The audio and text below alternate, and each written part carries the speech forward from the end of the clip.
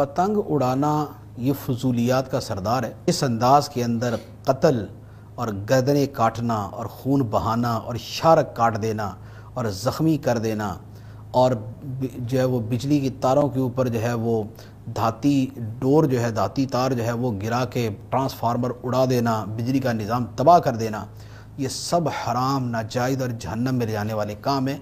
खुद इतना गौर कर लें कि ये जो पतंग उड़ा के किसी दूसरे के बच्चे की गर्दन काटते हैं, अगर आपके बच्चे की गर्दन को यूँ काटे, आपको कितना मज़ा आएगा?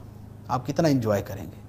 कितने बच्चे मार देते हैं, कितने नौजवान मार देते हैं। किसी की शादी हुई है, शादी के बाद वो जा रहा है मोटरसाइकिल के ऊपर, गर्दन कट गई उसकी। क्या हुआ जी?